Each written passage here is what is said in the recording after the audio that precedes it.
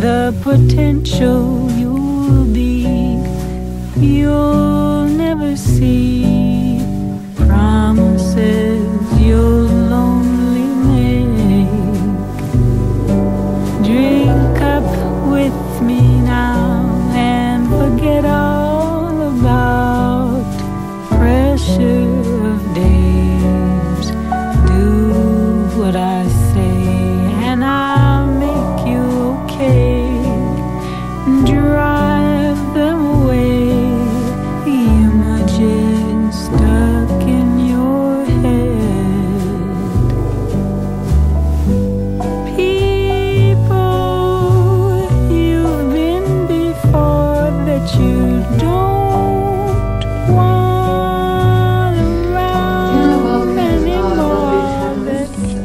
to the comfy couches here at Five Eliza.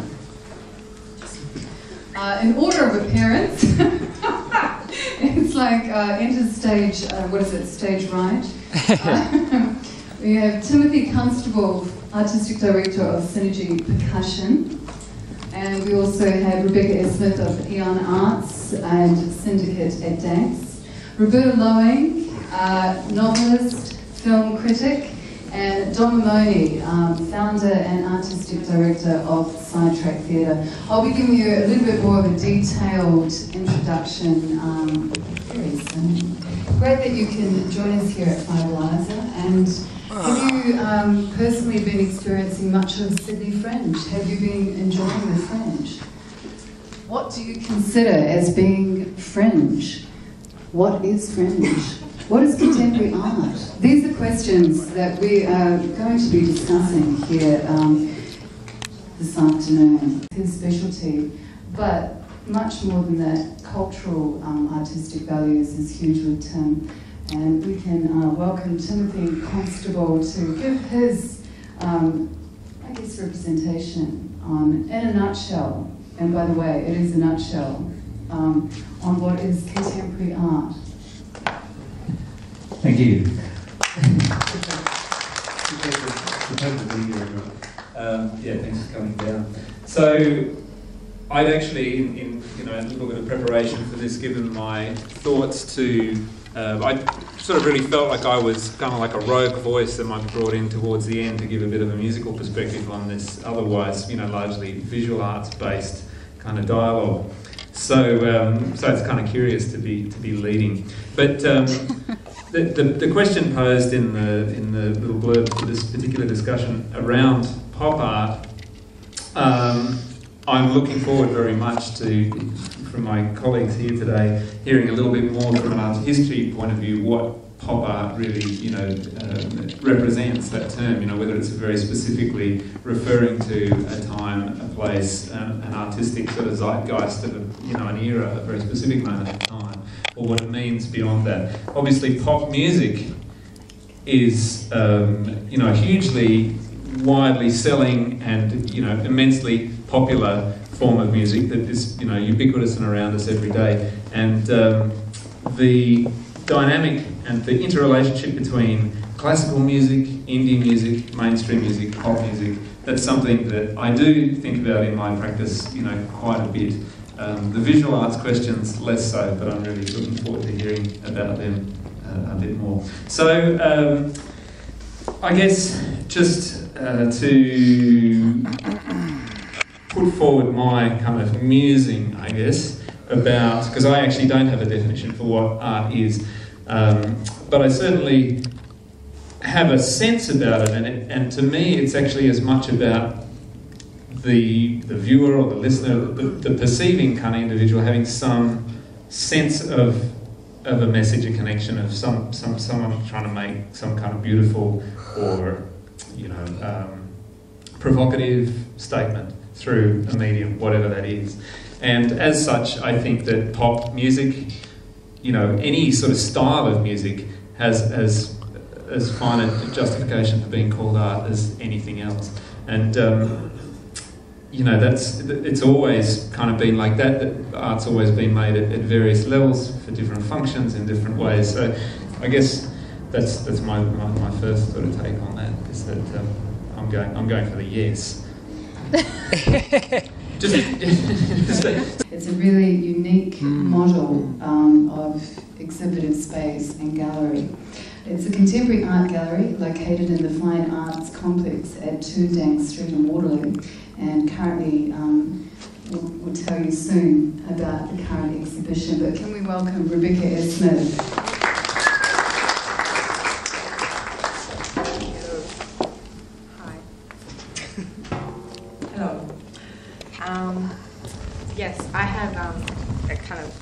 Show coming up next Tuesday. It's going to be hanging on the wall. So it's called Off the Wall, and it's with street artists from around the world. So it sort of fits in very nicely with this whole concept of pop art.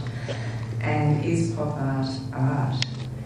Yes, it's it's it's art with a vengeance, and it's going nowhere. It's going to stay here. It's with us. It's almost become part of us. That is how big pop art is.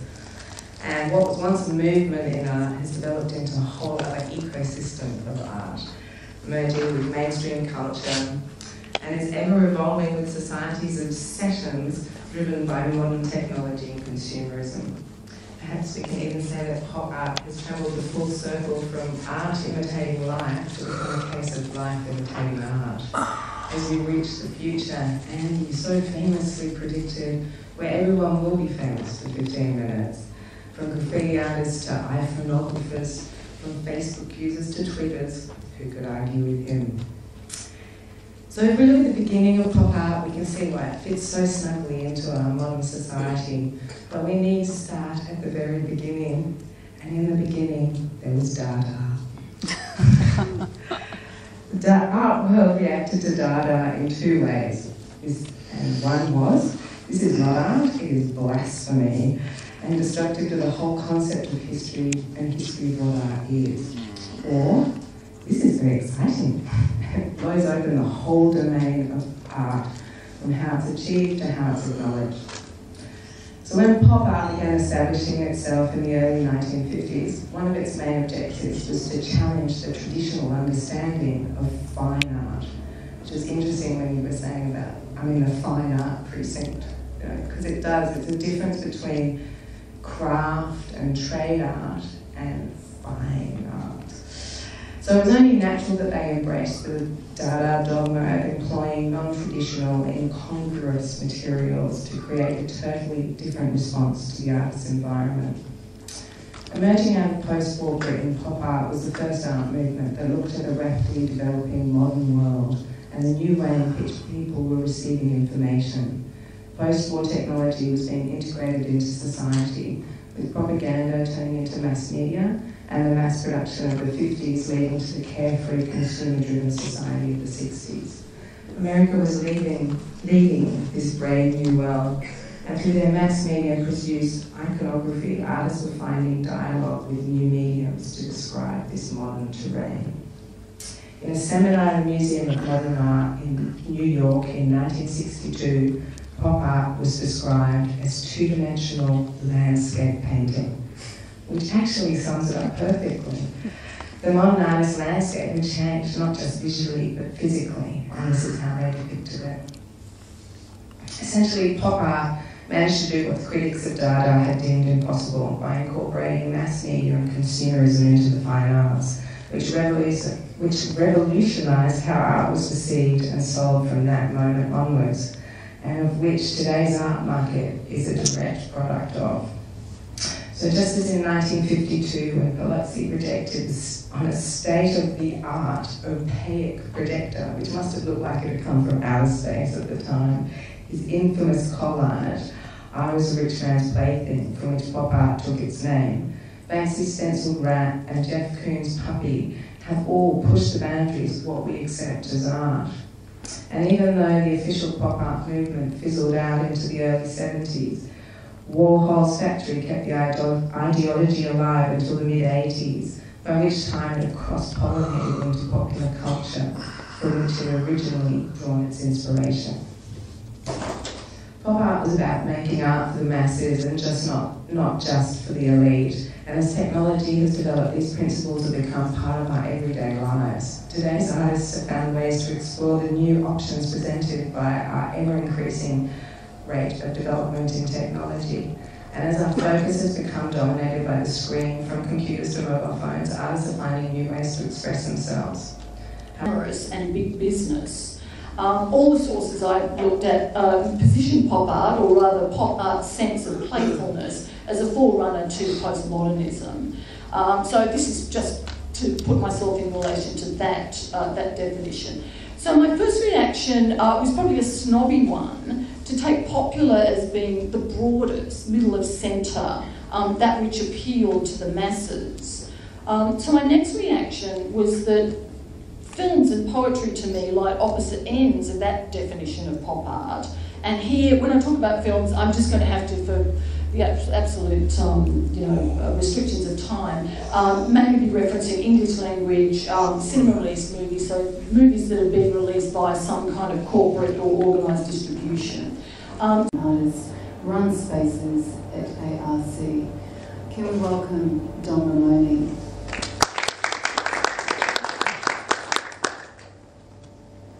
Uh, thank you, Angela, my fellow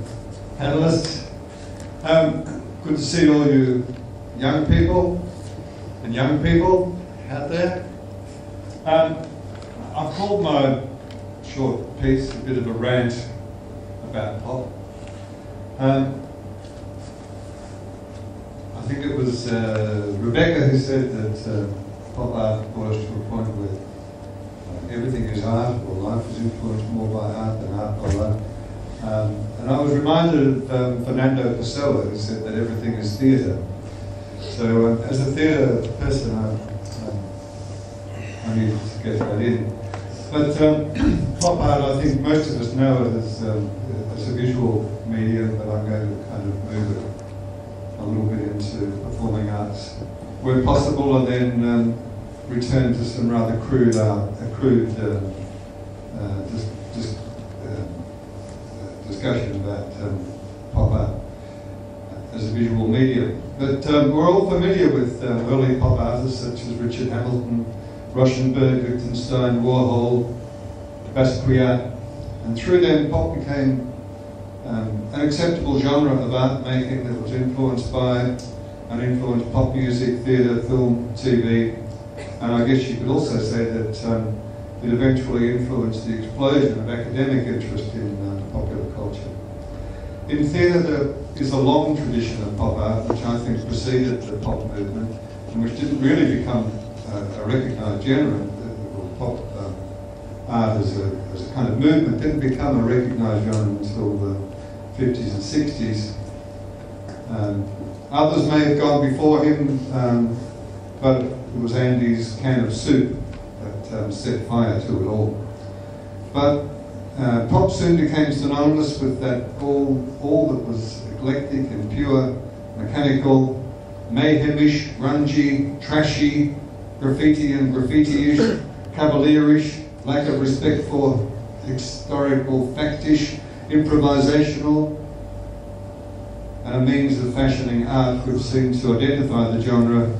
Um, also, not to forget the tendency to make use of collage and pastiche. That we might say that all these things had already been rehearsed in theatre.